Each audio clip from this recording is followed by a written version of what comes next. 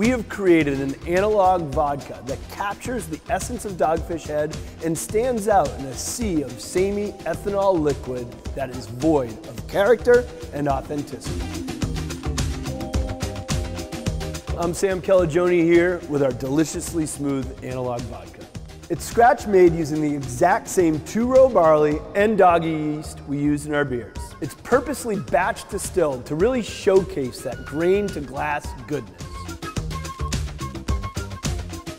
Analog has a complexity beyond that of your typical vodka. It's unexpectedly luscious and smooth with no burn, and it ends with a touch of sweetness and caramelized goodness. Today I'm making a really tasty but simple cocktail, our citrus cooler, and you can find the recipe on the back of every bottle.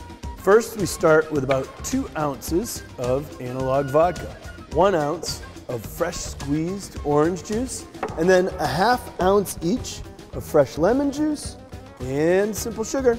And then we shake. Pour. And finally, we drink. So check out dogfish.com to learn more about our off-centered spirits and where you can buy them. Cheers.